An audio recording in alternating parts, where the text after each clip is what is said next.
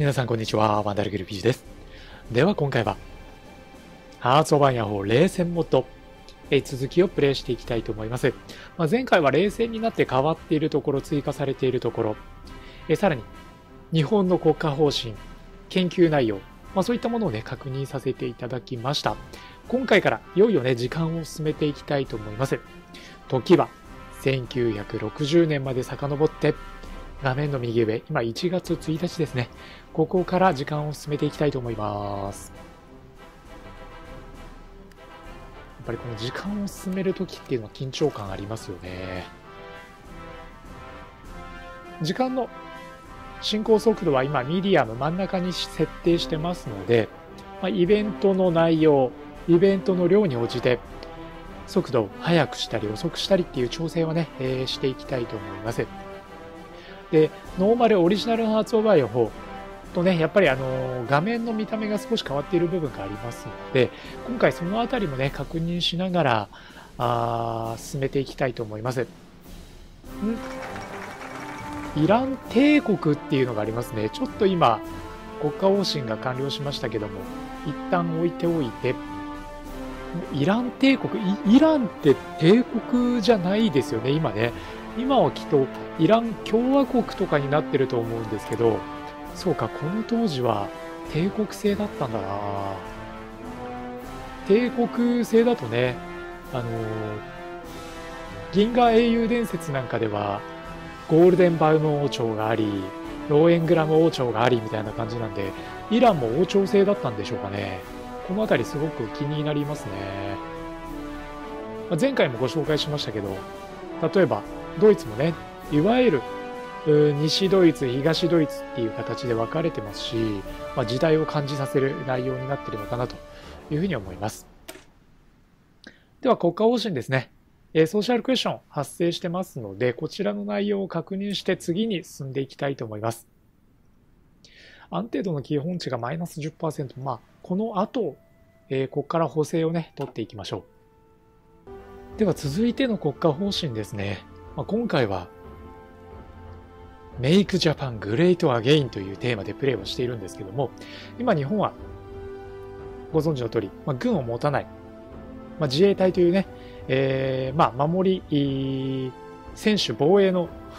部隊を持っているものの軍を持たないというところになっています。まあ、あの、それ自体はね、すごくいいことだと思うんですけども、一方で、やっぱり世界の中での日本の存在感というのは、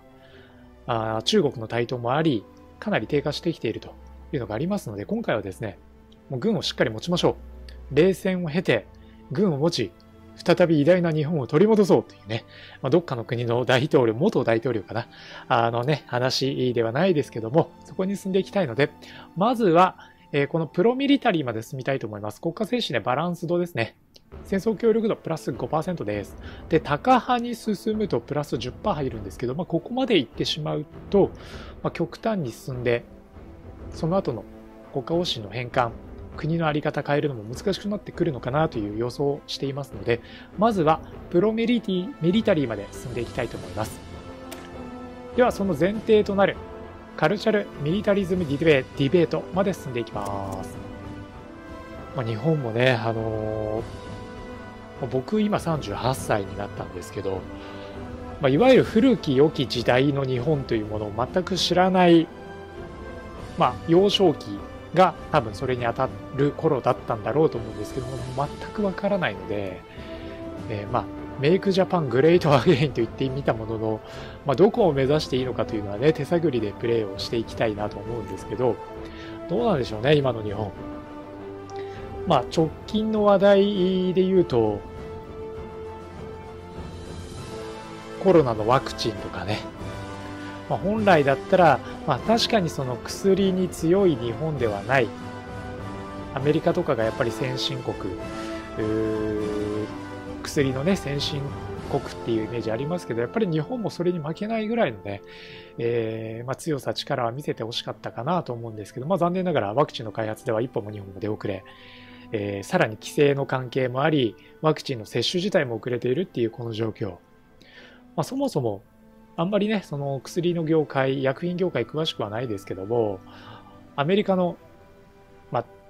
一つ、ファイザー上げたとしても、日本のね、大手、例えば武田薬品とかと比べても、やっぱり規模、企業の規模が全然違うっていうのがあって、まあ日本はね、えー、まあ、武田薬品大きい薬の会社だと思うんですけど、まあ他にも、えー、同じぐらいの規模の会社がいくつかあるっていう中で、まあ統廃合を進めるのがいいとは言わないですけど、やっぱりね、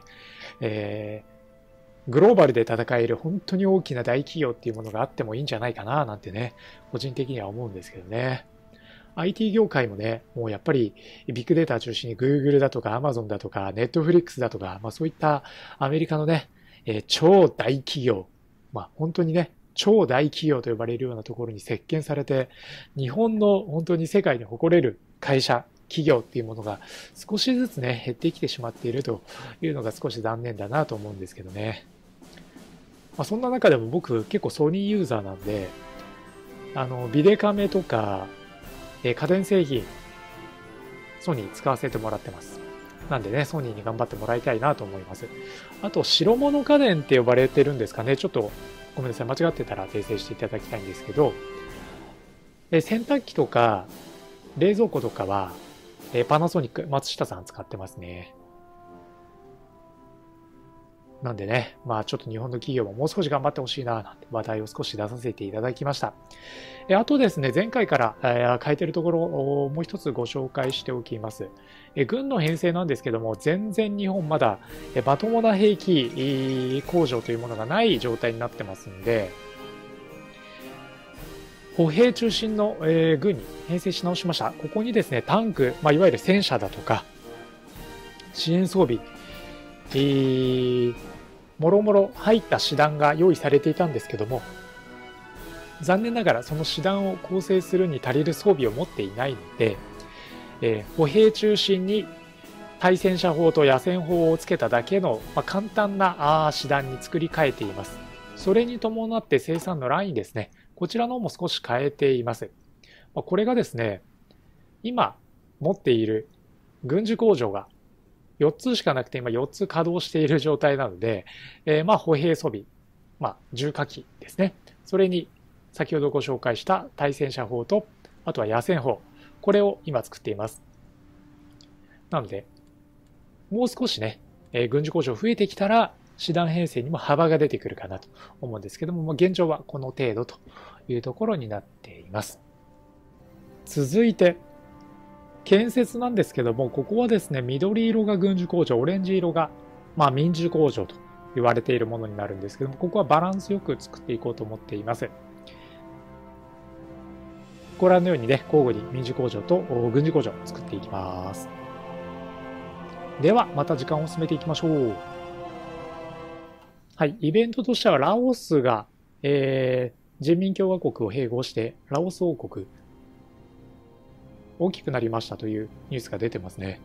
まあ、ラオスはタイと隣接していてですね、今画面ちょうどフォーカスしてますけども、いつだっけな、2、3年前タイに頻繁に通ってた頃、ちょうど、えー、いわゆるエロマッサージと呼ばれているマッサージ屋さんで仲良くなった子がラオス出身の子でしたね。ラオスから出稼ぎでタイのエロマッサージ屋さんで働いているというようなとこでした。まあ、そのね、あのーラオスことは Facebook で実は未だに繋がってまして、最近子供、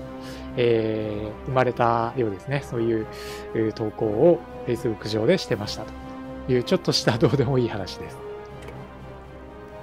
まあ、ちょうどね、東南アジア映してるので、えー、いい機会というかあ、見るべきところの一つとして、ちょうどこの時代、1960年なんでベトナム戦争がね、起こっていた頃だと思うので、ここで戦争が起きてますね。まあ、我々の今の情報収集力では、えー、何が起きているかということをつぶさに見ることはできないんですけども、ここで、えー、戦闘が起きているという情報は確認できます。まあ、ここに介入する力、今、日本にはないですからね。えー、もう少し国力をしっかりつけて、国連軍に参加できるぐらいのね、大きな軍、強い軍、強い日本というものを取り戻していきましょう。で、今、あの政治の画面見ていただいていますけども、ここはですね、議会の支配率みたいなものが出ています。あとはシステム面と、まあ少し面白いところで言うとですね、ファイナンス、財政のところもしっかり出てきていますので、このあたりを見ていく必要も出てきますし、あとですね、オリジナルの発音版案をないところで言うと、GDP なんかも出てるんですよね。画面のちょうど一番上に出てますけども、こういったところでやっぱり、まあ、戦争主体のハーツ・オーバーヤンオリジナルのものから冷戦モードを入れると多少なりともえー、財政バランスというか、金銭感覚というか、まあ、そういったものがね、求められてくるように、ゲームシステム自体が大きく作り変えられているっていうのが、この冷戦モッドの面白いところですね。現代モッドともやっぱりちょっと作りが違くてですね、シミュレーションゲームの、えー、取り扱いとしては、もしかしたらこの冷戦時代っていうのはすごく適してるかもしれないですね。続いてイベントとディシジョンですね。まあ、簡単にご紹介だけしていきたいと思います。まあ、装備の実装のところ2つ出てますね。第1世代の対空兵装の段階的配備か、えもしくは急速配備かという、まあ、この選択もありますし、あとはインフルエンスというところではアメリカから33%。えー、まあやっぱりね、アメリカの影響力が大きい今もそうですけど、すごく大きいですよね。まあ、一つちょっとね、えー、プレイの手を止めてお話しさせていただくと、あのー、安全保障に尖閣諸島が含まれるのかというのをことあるごとに日本とアメリカ、まあ、特に日本からアメリカに確認をするっていうのが、まあ、恒例というか、毎度毎度やってますけど、今回もトランプさんからバイデンさんに変わったタイミングで、えー、その確認をしたようなんですけども、それって解釈が都度変わるもんなんですかっていうのは、なんかどっかではっきりさせておいた方がいいんじゃないかなと思うんですよね。で、その解釈というのは普遍的なものである必要があるんじゃないかなと思うので、都度確認すると、いや、尖閣諸島は含まれませんよっていう回答が来た時に日本はどうするんですかっていうのがちょっとね気になるんですよね。ちょそのあたりは、ま外交問題なので、いろいろと複雑に難しく絡み合い、とても解きほぐすことができない内容なのかもしれないんですけど、ちょっとふとした疑問です。あとはですね、えー、経済系、いくつかありますね。それに装備、まあ、軍の装備ですね。このあたりもあります。あと面白いのが一つあってですね、東京タワーの完成というのがありますね。これ、政治力10しか使わないので、ちょっと試しにやってみましょう。東京タワーが完成、オープンしたよっていうね。東京タワーのオープンって、いつなんでしょうね。ちょうどこの時代だと思うんですけど、勉強不足で申し訳ないんですが、えー、東京タワーね、えー、これで完成したというイベントです。まあ、今やね、東京タワーに代わる、あるいは並び立つシンボルとして東京スカイツリーありますけどね。え軍としてはようやく一つ歩兵の師団を生まれさせました。まあ、装備も、え訓練度もまだまだ全然立ち行かない、まあ、そういう舞台ではありますけども、これがこのゲーム上で戦後初めて日本が持った記念すべき最初の軍ということになります。あともう一つですね、あの、GDP の横に出ているのが、まあ、いわゆるお金、債務、関わるところなんですけども、今、入りが5.9ビリオンですね、入ってくる状態なので、まあ、今のところお金に困る状況ではないんですけども、今後装備品を作るにあたっていろいろ貿易なんかでおそらく赤字になると思うので、えいろんなところでですね、お金を借りられる準備をしておきたいと思います。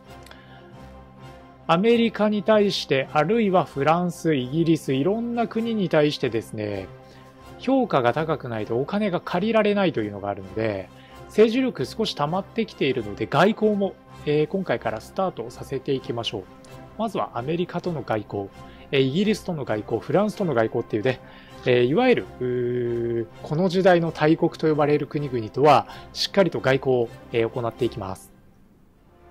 研究ですが、初期コンピュータ理論が終わりましたので、さらに同じ研究速度を上げる内容として、バイナリプログラミング言語、これをね、えー、採用して、研究速度プラス2%のボーナス取っていきたいと思います。ちょうど今、1960年4月まで来ましたけど、この当時はもちろん香港は、えー、ちょっと画面ね、字小さいかもしれませんが、当然イギリスの領有になっていますね。まあ、ここはすでに中国に返還されて、以後、50年間でしたかね、守ると言われていた香港の独立性、自立性みたいなものも今やないに等しいということでね、えー、一昨年、昨年あたりはこのあたりもすごく騒がしくなりましたけど、香港は実は結構行ってる国でして、